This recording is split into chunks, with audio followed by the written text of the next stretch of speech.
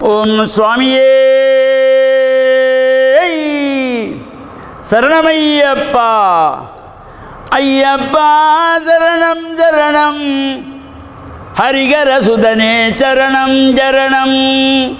ஐயப்பா சரணம் சரணம். கரிகர சுதனே சரணம் சரணம். பம்பையின் பாலா சரணம் சரணம்.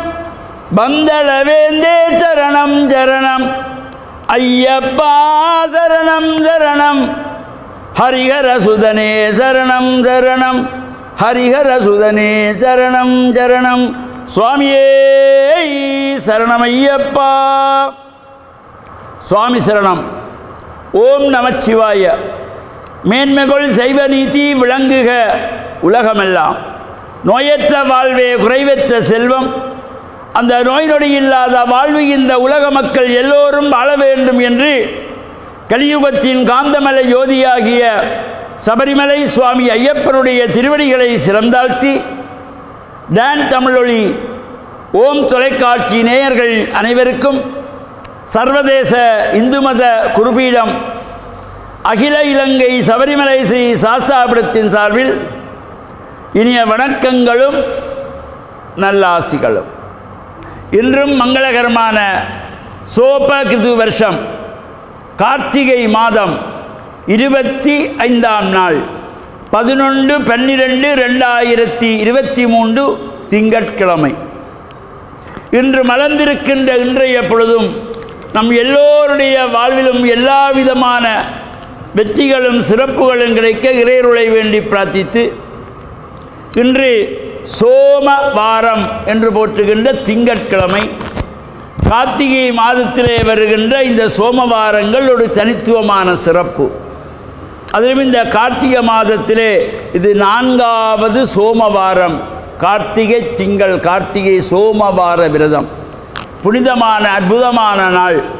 சிவன் ஆலயங்களில் இவ்வாறான விரத வழிபாடுகள் அம்பாள் ஆலயங்களிலே நடைபெறுகின்ற பொழுது அங்கே சென்று பிரார்த்தனை செய்து பகல் பூராவும் உணவு உண்ணாமல் விரதமாயிருந்து சாயங்கால வேளையிலே ஆலய வழிபாட்டை முடித்துக்கொண்டு இந்த விரதத்தை பூர்த்தி செய்கின்றவர்கள் குற்று விளக்கு ஏற்றி வைத்து இந்த அன்றைய தினத்திலே விரதத்தை நிறைவு செய்வதற்காக பிரசாதங்களையும் அத்தோடு அன்னத்தையும் சாப்பிடுகின்றதாகிய சிறப்பான ஒரு விரதம் இந்த கார்த்திகை சோமவாரம். இப்பொழுது உலகளாவியிலே ஐயப்பன் பூஜை வழிபாடுகள் நடைபெற்றுக் கொண்டிருக்கின்றன.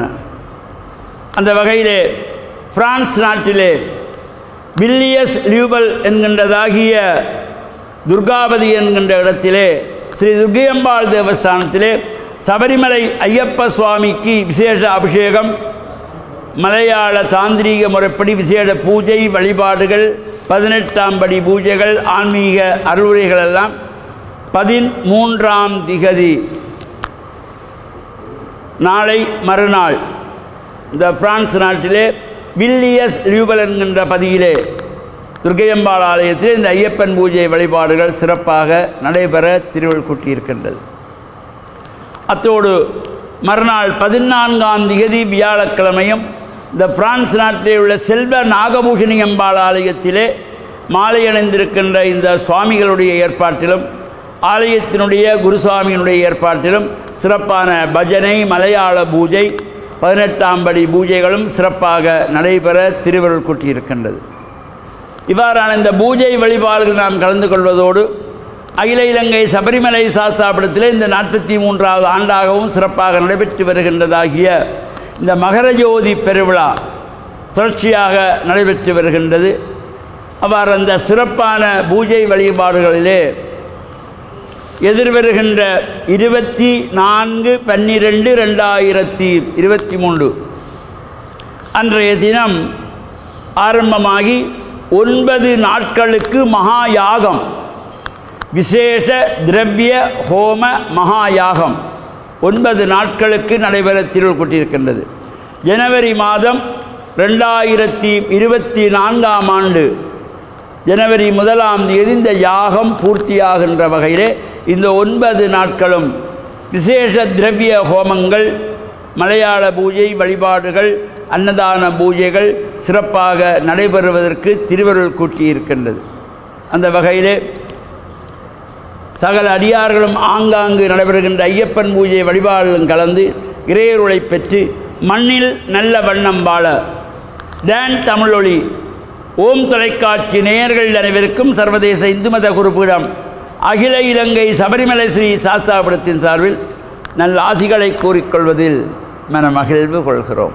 சர்வே ஜனாக சுகினோ பவந்து சமஸ்த சன்மங்களானி சந்து. சுவாமியே சரணமையப்பா. சுவாமி சரணம்.